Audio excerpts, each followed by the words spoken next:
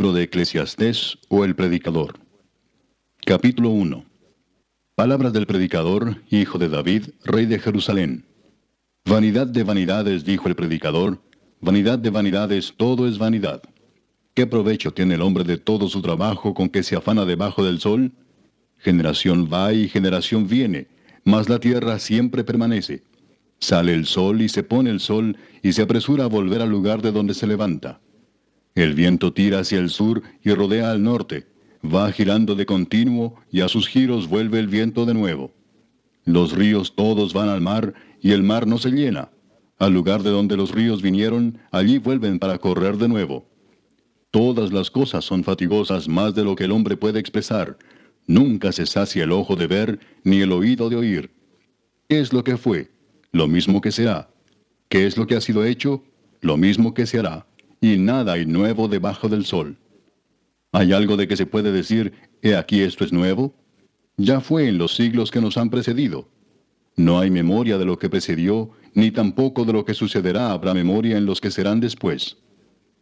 Yo, el predicador, fui rey sobre Israel en Jerusalén, y di mi corazón a inquirir y a buscar con sabiduría sobre todo lo que se hace debajo del cielo. Este penoso trabajo dio Dios a los hijos de los hombres para que se ocupen en él. Miré todas las obras que se hacen debajo del sol, y he aquí todo ello es vanidad y aflicción de espíritu. Lo torcido no se puede enderezar, y lo incompleto no puede contarse. Hablé yo en mi corazón diciendo, He aquí yo me he engrandecido y he crecido en sabiduría sobre todos los que fueron antes de mí en Jerusalén, y mi corazón ha percibido mucha sabiduría y ciencia. Y dediqué mi corazón a conocer la sabiduría y también a entender las locuras y los desvaríos conocí que aún esto era aflicción de espíritu. Porque en la mucha sabiduría hay mucha molestia, y quien añade ciencia, añade dolor. Capítulo 2. Dije yo en mi corazón, ven ahora te probaré con alegría y gozarás de bienes. Mas he aquí esto también era vanidad. A la risa dije, enloqueces, y al placer, ¿de qué sirve esto? Propuse en mi corazón agasajar mi carne con vino y que anduviese mi corazón en sabiduría, con retención de la necedad, hasta ver cuál fuese el bien de los hijos de los hombres, en el cual se ocuparan debajo del cielo todos los días de su vida. Engrandecí mis obras, edifiqué para mí casas, planté para mí viñas, me hice huertos y jardines, y planté en ellos árboles de todo fruto. Me hice estanques de aguas para regar de ellos el bosque donde crecían los árboles. Compré siervos y siervas, y tuve siervos nacidos en casa también tuve posesión grande de vacas y de ovejas, más que todos los que fueron antes de mí en Jerusalén. Me amontoné también plata y oro y tesoros preciados de reyes y de provincias. Me hice de cantores y cantoras, de los deleites de los hijos de los hombres y de toda clase de instrumentos de música. Y fui engrandecido y aumentado más que todos los que fueron antes de mí en Jerusalén. A más de esto, conservé conmigo mi sabiduría no negué a mis ojos ninguna cosa que desearan, ni aparté mi corazón de placer alguno, porque mi corazón gozó de todo mi trabajo, y esta fue mi parte de toda mi faena. Miré yo luego todas las obras que habían hecho mis manos, y el trabajo que tomé para hacerlas, y he aquí todo era vanidad y aflicción de espíritu, y sin provecho debajo del sol. Después volví yo a mirar para ver la sabiduría y los desvaríos y la necedad, porque ¿qué podrá hacer el hombre que venga después del rey? Nada, sino lo que ya ha sido hecho. Y he visto que la sabiduría sobrepasa la necedad como la luz a las tinieblas. El sabio tiene sus ojos en su cabeza, mas el necio anda en tinieblas. Pero también entendí yo que un mismo suceso acontecerá al uno como al otro. Entonces dije yo en mi corazón, como sucederá al necio, me sucederá también a mí. ¿Para qué pues he trabajado hasta ahora por hacerme más sabio? Y dije en mi corazón que también esto era vanidad porque ni del sabio ni del necio habrá memoria para siempre, pues en los días venideros ya todo será olvidado, y también morirá el sabio como el necio. Aborrecí por tanto la vida, porque la obra que se hace debajo del sol me era fastidiosa, por cuanto todo es vanidad y aflicción de espíritu. Asimismo aborrecí todo mi trabajo que había hecho debajo del sol, el cual tendré que dejar a otro que vendrá después de mí. Y quién sabe si será sabio o necio el que se enseñoreará de todo mi trabajo en que yo me afané y en que ocupé debajo del sol mi sabiduría. Esto también es vanidad. Volvió por tanto a desesperanzarse mi corazón acerca de todo el trabajo en que me afané y en que había ocupado debajo del sol mi sabiduría. Que el hombre trabaje con sabiduría y con ciencia y con rectitud y que haya de dar su hacienda a hombre que nunca trabajó en ello. También es esto vanidad y mal grande. Porque ¿qué tiene el hombre de todo su trabajo y de la fatiga de su corazón con que se afana debajo del sol? Porque todos sus días no son sino dolores y sus trabajos molestias Aún de noche su corazón no reposa. Esto también es vanidad. No hay cosa mejor para el hombre sino que coma y beba y que su alma se alegre en su trabajo. También he visto que esto es de la mano de Dios. Porque ¿quién comerá y quién se cuidará mejor que yo? Porque al hombre que le agrada, Dios le da sabiduría, ciencia y gozo, mas al pecador da el trabajo de recoger y amontonar para darlo al que agrada a Dios. También esto es vanidad y aflicción de espíritu. Capítulo 3. Todo tiene su tiempo y todo lo que se quiere debajo del cielo tiene su hora. Tiempo de nacer y tiempo de morir. Tiempo de plantar y tiempo de arrancar lo plantado. Tiempo de matar y tiempo de curar. Tiempo de destruir y tiempo de edificar. Tiempo de llorar y tiempo de reír. Tiempo de endechar y tiempo de bailar tiempo de esparcir piedras y tiempo de juntar piedras, tiempo de abrazar y tiempo de abstenerse de abrazar, tiempo de buscar y tiempo de perder, tiempo de guardar y tiempo de desechar, tiempo de romper y tiempo de coser, tiempo de callar y tiempo de hablar, tiempo de amar y tiempo de aborrecer, tiempo de guerra y tiempo de paz. ¿Qué provecho tiene el que trabaja de aquello en que se afana? Yo he visto el trabajo que Dios ha dado a los hijos de los hombres para que se ocupen en él.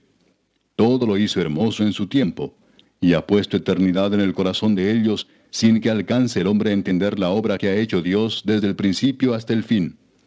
Yo he conocido que no hay para ellos cosa mejor que alegrarse y hacer bien en su vida, y también que es don de Dios que todo hombre coma y beba y goce el bien de toda su labor. He entendido que todo lo que Dios hace será perpetuo sobre aquello no se añadirá ni de ello se disminuirá. Y lo hace Dios para que delante de él teman los hombres. Aquello que fue, ya es. Y lo que ha de ser, fue ya. Y Dios restaura lo que pasó. Vi más debajo del sol. En lugar del juicio, allí impiedad. Y en lugar de la justicia, allí iniquidad. Y dije yo en mi corazón, al justo y al impío juzgará Dios, porque allí hay un tiempo para todo lo que se quiere y para todo lo que se hace. Dije en mi corazón, es así por causa de los hijos de los hombres, para que Dios los pruebe y para que vean que ellos mismos son semejantes a las bestias. Porque lo que sucede a los hijos de los hombres y lo que sucede a las bestias, un mismo suceso es. Como mueren los unos, así mueren los otros, y una misma respiración tienen todos. Ni tiene más el hombre que la bestia, porque todo es vanidad. Todo va a un mismo lugar, todo es hecho del polvo, y todo volverá al mismo polvo. ¿Quién sabe que el espíritu de los hijos de los hombres sube arriba y que el espíritu del animal desciende abajo a la tierra?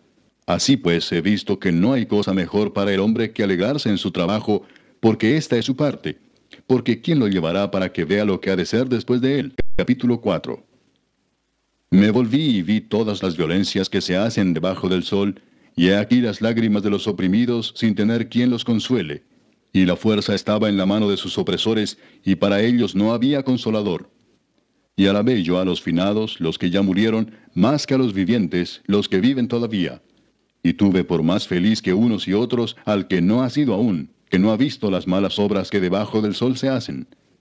He visto asimismo que todo trabajo y toda excelencia de obras despierta la envidia del hombre contra su prójimo. También esto es vanidad y aflicción de espíritu. El necio cruza sus manos y come su misma carne. Más vale un puño lleno con descanso que ambos puños llenos con trabajo y aflicción de espíritu. Yo me volví otra vez y vi vanidad debajo del sol. Está un hombre solo y sin sucesor, que no tiene hijo ni hermano, pero nunca cesa de trabajar, ni sus ojos se sacian de sus riquezas, ni se pregunta, ¿para quién trabajo yo y defraudo mi alma del bien? También esto es vanidad y duro trabajo. Mejores son dos que uno, porque tienen mejor paga de su trabajo, porque si cayeren, el uno levantará a su compañero. Pero ay del solo, que cuando cayere no habrá segundo que lo levante. También si dos durmieren juntos, se calentarán mutuamente. Mas ¿cómo se calentará uno solo? Y si alguno prevaleciere contra uno, dos le resistirán, y cordón de tres dobleces no se rompe pronto. Mejor es el muchacho pobre y sabio que el rey viejo y necio que no admite consejos, porque de la cárcel salió para reinar, aunque en su reino nació pobre. Vi a todos los que viven debajo del sol caminando con el muchacho sucesor que estará en lugar de aquel. No tenía fila muchedumbre del pueblo que le seguía, sin embargo, los que vengan después tampoco estarán contentos de él. Y esto es también vanidad y aflicción de espíritu. Capítulo 5. Cuando fueres a la casa de Dios, guarda tu pie, y acércate más para oír que para ofrecer el sacrificio de los necios, porque no saben que hacen mal. No te des prisa con tu boca, ni tu corazón se apresure a proferir palabra delante de Dios, porque Dios está en el cielo y tú sobre la tierra, por tanto sean pocas tus palabras. Porque de la mucha ocupación viene el sueño, y de la multitud de las palabras la voz del necio. Cuando a Dios haces promesa, no tardes en cumplirla, porque Él no se complace en los insensatos. Cumple lo que prometes. Mejor es que no prometas, y no que prometas y no cumplas. No dejes que tu boca te haga pecar, ni digas delante del ángel que fue ignorancia. ¿Por qué harás que Dios se enoje a causa de tu voz y que destruya la obra de tus manos? Donde abundan los sueños, también abundan las vanidades y las muchas palabras. Mas tú, teme a Dios. Si opresión de pobres y perversión de derecho y de justicia vieres en la provincia, no te maravilles de ello, porque sobre el alto vigila otro más alto, y uno más alto está sobre ellos. Además, el provecho de la tierra es para todos. El rey mismo está sujeto a los campos. El que ama el dinero no se saciará de dinero, y el que ama el mucho tener no sacará fruto. También esto es vanidad. Cuando aumentan los bienes, también aumentan los que los consumen. ¿Qué bien pues tendrá su dueño sino verlos con sus ojos? Dulce es el sueño del trabajador, coma mucho, coma poco, pero al rico no le deja dormir la abundancia. Hay un mal doloroso que he visto debajo del sol, las riquezas guardadas por sus dueños para su mal, las cuales se pierden en malas ocupaciones, y a los hijos que engendraron nada les queda en la mano. Como salió del vientre de su madre desnudo, así vuelve, yéndose tal como vino, y nada tiene de su trabajo para llevar en su mano. Este también es un gran mal que como vino, así haya de volver. ¿Y de qué le aprovechó trabajar en vano? Además de esto, todos los días de su vida comerá en tinieblas, con mucho afán y dolor y miseria. He aquí pues el bien que yo he visto, que lo bueno es comer y beber y gozar uno del bien de todo su trabajo con que se fatiga debajo del sol todos los días de su vida que Dios le ha dado, porque esta es su parte. Asimismo, a todo hombre a quien Dios da riquezas y bienes, y le da también facultad para que coma de ellas, y tome su parte, y goce de su trabajo, esto es don de Dios. Porque no se acordará mucho de los días de su vida, pues Dios le llenará de alegría el corazón. Capítulo 6 hay un mal que he visto debajo del cielo y muy común entre los hombres. El del hombre a quien Dios da riquezas y bienes y honra y nada le falta de todo lo que su alma desea. Pero Dios no le da facultad de disfrutar de ello, sino que lo disfrutan los extraños. Esto es vanidad y mal doloroso. Aunque el hombre engendrare cien hijos y viviere muchos años y los días de su edad fueren numerosos, si su alma no se sació del bien y también careció de sepultura, yo digo que un abortivo es mejor que él, porque éste en vano viene y a las tinieblas va, y con tinieblas su nombre es cubierto. Además, no ha visto el sol ni lo ha conocido. Más reposo tiene éste que aquel. Porque si aquel viviere mil años dos veces, sin gustar del bien, ¿no van todos al mismo lugar? Todo el trabajo del hombre es para su boca, y con todo eso su deseo no se sacia. Porque, ¿qué más tiene el sabio que el necio? ¿Qué más tiene el pobre que supo caminar entre los vivos? Más vale vista de ojos que deseo que pasa. Y también esto es vanidad y aflicción de espíritu. Respecto de lo que es, ya mucho que tiene nombre, y se sabe que es hombre y que no puede contender con aquel que es más poderoso que él. Ciertamente las muchas palabras multiplican la vanidad. ¿Qué más tiene el hombre? Porque quién sabe cuál es el bien del hombre en la vida todos los días de la vida de su vanidad, los cuales él pasa como sombra. Porque ¿quién enseñará al hombre ¿qué será después de él debajo del sol? Capítulo 7. Mejor es la buena fama que el buen ungüento, y mejor el día de la muerte que el día del nacimiento. Mejor es ir a la casa del luto que a la casa del banquete, porque aquello es el fin de todos los hombres, y el que vive lo pondrá en su corazón. Mejor es el pesar que la risa, porque con la tristeza del rostro se enmendará el corazón. El corazón de los sabios está en la casa del luto, mas el corazón de los insensatos en la casa en que hay alegría.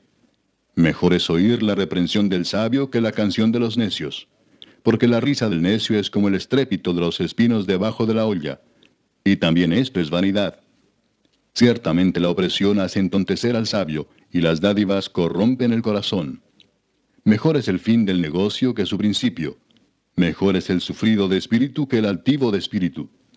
No te apresures en tu espíritu a enojarte, porque el enojo reposa en el seno de los necios. Nunca digas, ¿cuál es la causa de que los tiempos pasados fueron mejores que estos? Porque nunca de esto preguntarás con sabiduría. Buena es la ciencia con herencia y provechosa para los que ven el sol.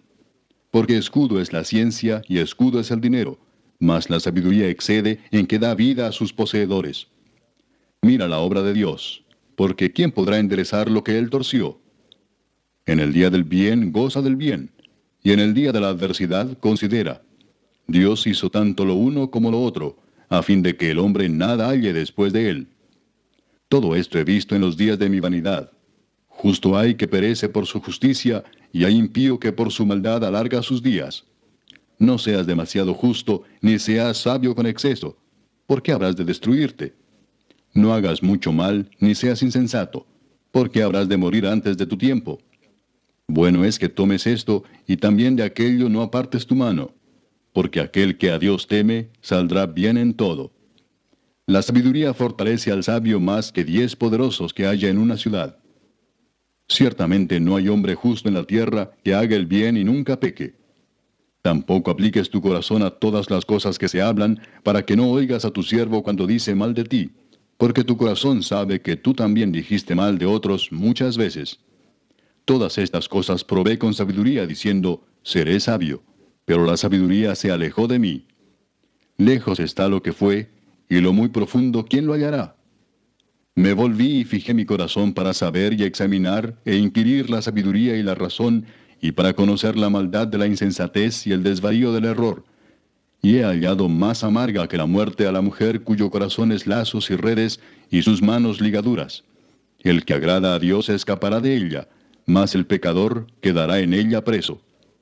He aquí que esto he hallado, dice el predicador, pensando las cosas una por una para hallar la razón lo que aún busca mi alma y no lo encuentra. Un hombre entre mil he hallado, pero mujer entre todas estas nunca hallé. He aquí solamente esto he hallado, que Dios hizo al hombre recto, pero ellos buscaron muchas perversiones. Capítulo 8. ¿Quién como el sabio y quién como el que sabe la declaración de las cosas? La sabiduría del hombre ilumina su rostro y la tosquedad de su semblante se mudará te aconsejo que guardes el mandamiento del rey y la palabra del juramento de Dios. No te apresures a irte de su presencia, ni en cosa mala persistas, porque él hará todo lo que quiere. Pues la palabra del rey es con potestad, y quién le dirá, ¿qué haces? El que guarde el mandamiento no experimentará mal, y el corazón del sabio discierne el tiempo y el juicio. Porque para todo lo que quisieres hay tiempo y juicio, porque el mal del hombre es grande sobre él pues no sabe lo que ha de ser, y el cuándo haya de ser, ¿quién se lo enseñará?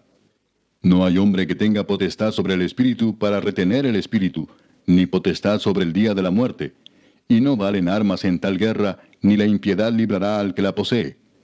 Todo esto he visto, y he puesto mi corazón en todo lo que debajo del sol se hace. Hay tiempo en que el hombre se enseñorea del hombre para mal suyo. Asimismo he visto a los inicuos sepultados con honra, mas los que frecuentaban el lugar santo fueron luego puestos en olvido en la ciudad donde habían actuado con rectitud. Esto también es vanidad. Por cuanto no se ejecuta luego sentencia sobre la mala obra, el corazón de los hijos de los hombres está en ellos dispuesto para hacer el mal. Aunque el pecador haga mal cien veces y prolongue sus días, con todo yo también sé que les irá bien a los que a Dios temen, los que temen ante su presencia. y que no le irá bien al impío, ni le serán prolongados los días que son como sombra, por cuanto no teme delante de la presencia de Dios. Hay vanidad que se hace sobre la tierra, que hay justos a quienes sucede como si hicieran obras de impíos, y hay impíos a quienes acontece como si hicieran obras de justos. Digo que esto también es vanidad. Por tanto, alabé yo la alegría, que no tiene el hombre bien debajo del sol, sino que coma y beba y se alegre, y que esto le quede de su trabajo los días de su vida que Dios le concede debajo del sol. Yo pues dediqué mi corazón a conocer sabiduría y a ver la faena que se hace sobre la tierra, porque hay quien ni de noche ni de día ve sueño en sus ojos. Y he visto todas las obras de Dios, que el hombre no puede alcanzar la obra que debajo del sol se hace. Por mucho que trabaje el hombre buscándola, no la hallará. Aunque diga el sabio que la conoce, no por eso podrá alcanzarla. Capítulo 9. Ciertamente he dado mi corazón a todas estas cosas para declarar todo esto, que los justos y los sabios y sus obras están en la mano de Dios. Que sea amor o que sea odio, no lo saben los hombres. Todo está delante de ellos. Todo acontece de la misma manera a todos. Un mismo suceso ocurre al justo y al impío, al bueno, al limpio y al no limpio, al que sacrifica y al que no sacrifica, como al bueno, así al que peca, al que jura, como al que teme el juramento. Este mal hay entre todo lo que se hace debajo del sol, que un mismo suceso acontece a todos, y también que el corazón de los hijos de los hombres está lleno de mal y de insensatez en su corazón durante su vida, y después de esto se van a los muertos. Aún hay esperanza para todo aquel que está entre los vivos, porque mejor es perro vivo que león muerto. Porque los que viven saben que han de morir, pero los muertos nada saben ni tienen más paga, porque su memoria es puesta en olvido. También su amor y su odio y su envidia fenecieron ya, y nunca más tendrán parte en todo lo que se hace debajo del sol. Anda y come tu pan con gozo y bebe tu vino con alegre corazón, porque tus obras ya son agradables a Dios. En todo tiempo sean blancos tus vestidos, y nunca falte ungüento sobre tu cabeza. Goza de la vida con la mujer que amas todos los días de la vida de tu vanidad que te son dados debajo del sol, todos los días de tu vanidad, porque esta es tu parte en la vida y en tu trabajo con que te afanas debajo del sol. Todo lo que te viniera a la mano para hacer, hazlo según tus fuerzas, porque en el Seol, a donde vas, no hay obra, ni trabajo, ni ciencia, ni sabiduría. Me volví y vi debajo del sol que ni es de los ligeros la carrera, ni la guerra de los fuertes, ni aun de los sabios el pan, ni de los prudentes las riquezas, ni de los elocuentes el favor, sino que tiempo y ocasión acontecen a todos porque el hombre tampoco conoce su tiempo, como los peces que son presos en la mala red, y como las aves que se enredan en el lazo, así son enlazados los hijos de los hombres en el tiempo malo, cuando cae de repente sobre ellos. También vi esta sabiduría debajo del sol, la cual me parece grande. Una pequeña ciudad y pocos hombres en ella, y viene contra ella un gran rey, y la asedia y levanta contra ella grandes baluartes. Y se halla en ella un hombre pobre, sabio, el cual libra la ciudad con su sabiduría, y nadie se acordaba de aquel hombre pobre. Entonces dije yo, mejor es la sabiduría que la fuerza, aunque la ciencia del pobre sea menospreciada, y no sean escuchadas sus palabras. Las palabras del sabio escuchadas en quietud son mejores que el clamor del Señor entre los necios. Mejor es la sabiduría que las armas de guerra, pero un pecador destruye mucho bien. Capítulo 10 las moscas muertas hacen heder y dar mal olor al perfume del perfumista. Así una pequeña locura al que es estimado como sabio y honorable. El corazón del sabio está a su mano derecha, mas el corazón del necio a su mano izquierda. Y aun mientras va el necio por el camino, le falta cordura, y va diciendo a todos que es necio. Si el espíritu del príncipe se exaltare contra ti, no dejes tu lugar, porque la mansedumbre hará cesar grandes ofensas. Hay un mal que he visto debajo del sol, a manera de error emanado del príncipe. La necedad está colocada en grandes alturas y los ricos están sentados en lugar bajo. Vi siervos a caballo y príncipes que andaban como siervos sobre la tierra. El que hiciere hoyo caerá en él, y al que aportillare vallado le morderá la serpiente. Quien corta piedras se hiere con ellas, el que parte leña en ello peligra. Si se embotare el hierro y su filo no fuere molado, hay que añadir entonces más fuerza, pero la sabiduría es provechosa para dirigir. Si muerde la serpiente antes de ser encantada, de nada sirve el encantador. Las palabras de la boca del sabio son llenas de gracia, mas los labios del necio causan su propia ruina. El principio de las palabras de su boca es necedad, y el fin de su charla nocivo desvarío. El necio multiplica palabras, aunque no sabe nadie lo que ha de ser. ¿Y quién le hará saber lo que después de él será? El trabajo de los necios los fatiga, porque no saben por dónde ir a la ciudad. Ay de ti tierra, cuando tu rey es muchacho y tus príncipes banquetean de mañana. Bienaventurada tú tierra, cuando tu rey es hijo de nobles y tus príncipes comen a su hora para reponer sus fuerzas y no para beber. Por la pereza se cae la techumbre y por la flojedad de las manos se llueve la casa. Por el placer se hace el banquete y el vino alegra a los vivos y el dinero sirve para todo. Ni aun en tu pensamiento digas mal del rey, ni en lo secreto de tu cámara digas mal del rico, porque las aves del cielo llevarán la voz, y las que tienen alas harán saber la palabra. Capítulo 11. Echa tu pan sobre las aguas, porque después de muchos días lo hallarás. Reparte a siete y aún a ocho, porque no sabes el mal que vendrá sobre la tierra. Si las nubes fueren llenas de agua, sobre la tierra la derramarán, y si el árbol cayere al sur o al norte, en el lugar que el árbol cayere, allí quedará. El que al viento observa, no sembrará, y el que mira las nubes, no cegará. Como tú no sabes cuál es el camino del viento, o cómo crecen los huesos en el vientre de la mujer encinta, así ignoras la obra de Dios, el cual hace todas las cosas. Por la mañana siembra tu semilla, y a la tarde no dejes reposar tu mano, porque no sabes cuál es lo mejor, si esto o aquello, o si lo uno y lo otro es igualmente bueno. Suave ciertamente es la luz y agradable a los ojos ver el sol. Pero aunque un hombre viva muchos años y en todos ellos tenga gozo, acuérdese sin embargo que los días de las tinieblas serán muchos. Todo cuanto viene es vanidad. Alégrate joven en tu juventud, y tome placer tu corazón en los días de tu adolescencia, y anda en los caminos de tu corazón y en la vista de tus ojos, pero sabe que sobre todas estas cosas te juzgará Dios. Quita pues de tu corazón el enojo y aparta de tu carne el mal, porque la adolescencia y la juventud son vanidad. Capítulo 12. Acuérdate de tu Creador en los días de tu juventud, antes que vengan los días malos y lleguen los años de los cuales digas, no tengo en ellos contentamiento. Antes que se oscurezca el sol y la luz y la luna y las estrellas y vuelvan las nubes tras la lluvia cuando temblarán los guardas de la casa, y se encorvarán los hombres fuertes, y cesarán las muelas porque han disminuido, y se oscurecerán los que miran por las ventanas, y las puertas de afuera se cerrarán por lo bajo del ruido de la muela, cuando se levantará la voz del ave, y todas las hijas del canto serán abatidas, cuando también temerán de lo que es alto, y habrá terrores en el camino, y florecerá el almendro, y la langosta será una carga, y se perderá el apetito, porque el hombre va a su morada eterna, y los endechadores andarán alrededor por las calles.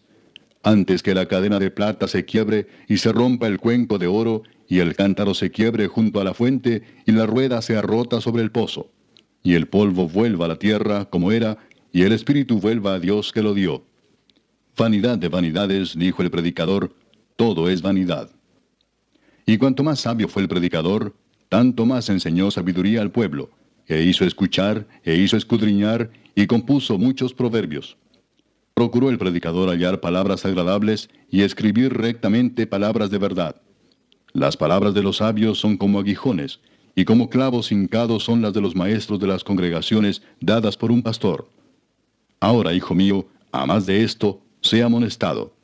No hay fin de hacer muchos libros, y el mucho estudio es fatiga de la carne. El fin de todo el discurso oído es este. Teme a Dios y guarda sus mandamientos porque esto es el todo del hombre. Porque Dios traerá toda obra a juicio, juntamente con toda cosa encubierta, sea buena o sea mala.